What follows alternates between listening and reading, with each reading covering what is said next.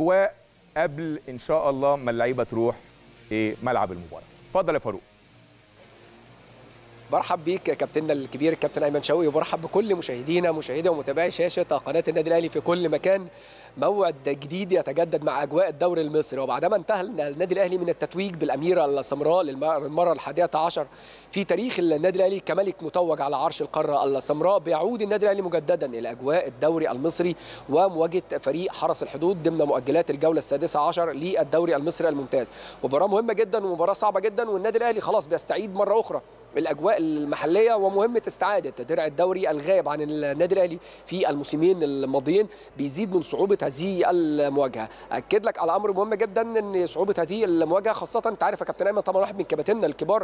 أنت عارف دايما المباريات اللي بتبقى بعد بعد التتويج ببطولة واحتفال ببطولة هل بيمتد طبعا تأثير الاحتفال بالبطولة على هذه المباراة؟ لكن ده النقطة المهمة جدا اللي مستر مارسيل كولر كان في حديثه مع اللاعبين واستعداده لهذه المباراة المحاضرات الفنية انه اتكلم مع اللاعبين على ضرورة نسيان البطولة الإفريقية وضرورة الفصل التام. ما بين الأجواء الأفريقية. خلاص قفلنا ملف البطولة الأفريقية وبنبدأ نستعيد البطولة المحلية. وبالتالي هذا الأمر خلى يعني مستر مارسيل كولر على الرغم من إن يعني 14 لاعب أو 15 لاعب من فريق النادي الأهلي ما كانوش مع الفريق في بداية عودته للتدريبات بعد الراحة اللي كان منحها مستر مارسيل كولر للاعبين بعد التتويج بالبطولة الأفريقية. نظرا طبعا لوجود تسع لاعبين من الفريق النادي الأهلي من القوام الأساسي مع منتخب المصري وأيضا وجود علي معلول وكريستو مع منتخب تونس أحمد القندوسي مع منتخب الجزائر بيرسي تاو مع منتخب جنوب أفريقيا وأليو ديانج مع المنتخب المالي.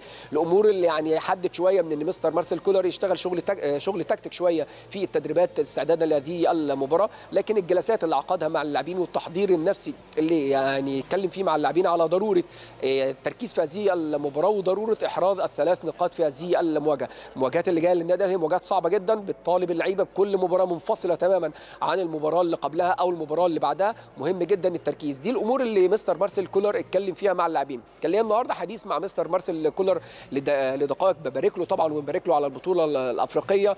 ويعني كنت بنتكلم مع مستر مارسيل كولر قلت له بعد مباراة كأس مصر وفوز الأهلي على بيراميدز. قلت لك يعني إن شاء الله منتظرين منك البطولة الأفريقية والتتويج بالبطولة الأفريقية. قال لي أنا عارف قدر وطموحات النادي للنادي الأهلي. افتكر هذه الجملة وقال لي جملة مهمة جدا النهارده. قال لي أنا عارف طموحات جماهير النادي الأهلي. في وسط ما أنت بتحتفل بالبطوله الأفريقية بتطالبني بالدوري. ولكن قال لي نقطة مهمة جدا يا كابتن أيمن. قال لي الجماهير أنا عارف الجماهير بتطالبني دلوقتي إن أنا أحقق كأس العالم للأندية. الأحلام والأمنيات في الكورة مهم جدا. ولكن محتاجين شغل في أرض الملعب محتاجين حاجات كتير جدا إن إحنا نشتغل عليها عشان نحقق طموحات جماهير النادي الأهلي.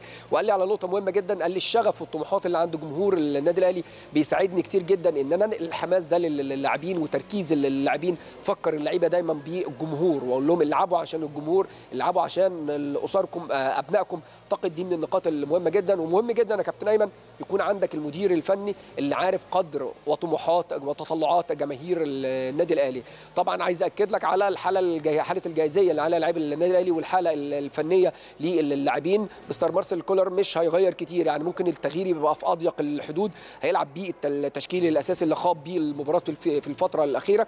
بيوصل أيضا للاعبين إن الأمور لم لم تحسن بعد الأمور لم تنتهي بعد. وبالتالي التركيز اللي إحنا شايفينه عند اللاعبين عند الجهاز الفني يبشر إن شاء الله إن الفريق النهارده يكون في كامل تركيزه ويحقق ثلاث نقاط مهمة جدا في هذه المواجهة بإذن الله. من الأمور المهمة جدا يعني خلال برضه يا كابتن أيمن من خلال حضرتك في لفته مهمه جدا فريق حرس الحدود المقرر طبعا والمنتظر إن هو هيقيم ممر شرفي للنادي الأهلي احتفالا بتتويج النادي الأهلي بالبطولة الأفريقية في لفته مهمة جدا لقيمة ومكانة تعكس قيمة ومكانة النادي الأهلي وأيضا العلاقات الوطيدة اللي بتجمع ما بين النادي الأهلي ومسؤولي حرس الحدود في لفته مهمة جدا. اتمنى طبعا إن إحنا نشوف طبعا الروح الطيبة اللي دايما بتجمع ما بين الفريقين في المواجهات السابقة. نشوفها إن شاء الله النهارده. أيضا وجود الكابتن محمد مكي المدير الفني في يعني في الجهاز الفني اللي تولى المهمه عقب يعني رحيل الكابتن أحمد أيوب وتركيزه على إن أهمية هذه المباراة إن فريق الحرس خلاص ما عندوش حاجة يبكي عليها وبالتالي يبقى متحفز ان هو يلعب أمام النادي الأهلي بكامل تركيزه. طبعا لجنة الحكام كانت اختارت طاقم تحكيم لهذه المباراة. قيادة الكابتن أمين عمر حكم الساحة هيعاونوا رمضان هنداوي وأحمد عبد الغني حكم رابع محمد إبراهيم الدسوقي اثنين على تقنية الفار مصطفى الشهدي وهيثم الشريف. طبعا يوم النادي الأهلي يا كابتن آه، أيمن كان يوم اعتيادي النهارده اللاعبون تناولوا وجبة الإفطار في تمام الساعة العاشرة والنصف ثم وجب آه، فترة التدريب لمدة ربع ساعة كانت في تمام الساعة الثانية عشر آه، ظهرا ثم تناول اللاعبون وجبة الغداء في تمام الساعة السادسة ثم المحاضرة الفنية لمستر بارسل كولر كانت في تمام الساعة السابعة عقب المحاضرة. طبعا بيبقى التحرك والتوجه إلى ملعب ال- ال- المباراة اللي بيبعد عن مقر إقامة فريق النادي الأهلي ب 15 دقيقة. كل التوفيق لفريق النادي الأهلي في هذه المباراة. من جديد تعود الكلمة للزميل العزيز الكابتن أيمن شوقي شكرا جزيلا الزميل العزيز فاروق صلاح. خلينا بقى نلحق إن إحنا نقول تشكيل النادي الأهلي.